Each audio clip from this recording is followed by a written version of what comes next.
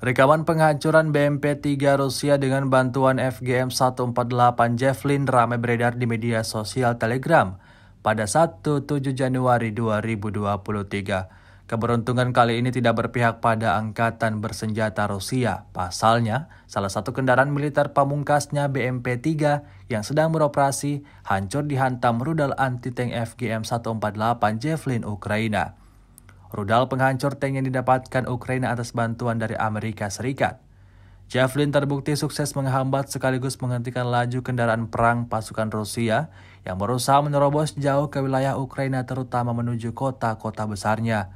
Seperti yang tampak dalam rekaman, kendaraan lapis baja BMP-3 Rusia hancur terbakar hingga timbulkan kepulan asap tebal saat setelah diserang rudal FGM-148 Javelin Ukraina.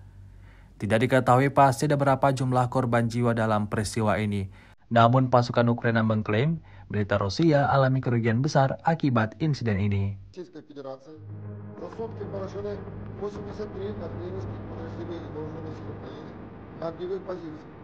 Желаю сил военной техники в 107 районе.